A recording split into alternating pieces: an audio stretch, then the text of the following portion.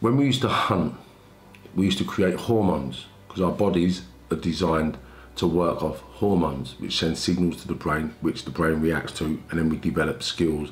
With the skills, we develop jobs, create infrastructures, grow money, infrastructure.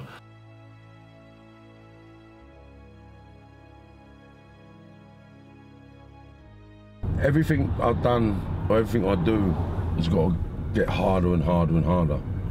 Like if I do a circuit, I've got to make it one harder. I've got to challenge myself, I've got to push myself. I've always got to try to touch them parts that I don't think's possible. Everything's disciplined.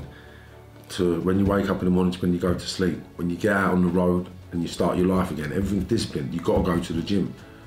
You got to eat healthy food. You got to do this. You got to do that. You got to do this. You got to do everything. The discipline.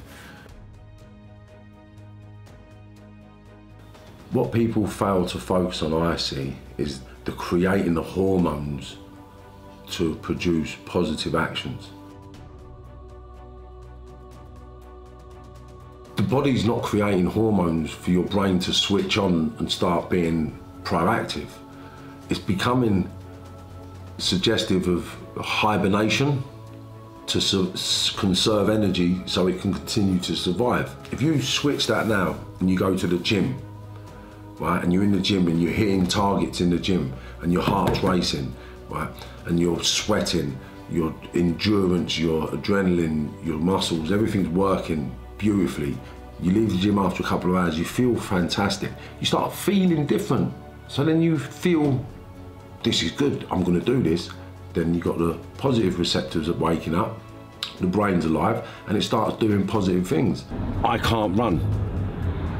So it doesn't make sense getting sad or depress myself or keep telling myself I wish I could go for a run. I wish I could go for a run. I wish I could go. Oh, I wish I could run, you know. Oh, I'd love to go running. I'd be super fit if I could run.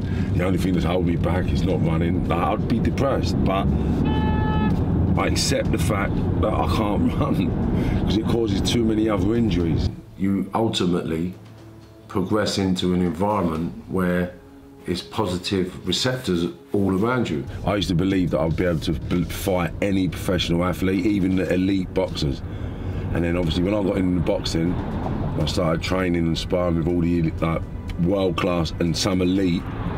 You realise that they were the next level of fitness, like. And I wouldn't have been able to get in the ring and beat up one of them elite people back in the day when I was drinking and doing all sorts of madness. It was just a common belief because of my own superior mentality. Um, yeah, their extreme fitness and the elite members are just something to be admired. The only advice I could give anybody is the same advice that I'd give myself. So I would focus on what they believe is the most important thing to them in their world, their life, and their existence. And I convince myself, this is what I do, I just convince myself that if I don't achieve this goal, then they are actually going to die and their life's over and it's finished. And that gives me my drive. And that's what gets me up now because I think, well, they can do it and they're only human it's a driving force behind it all.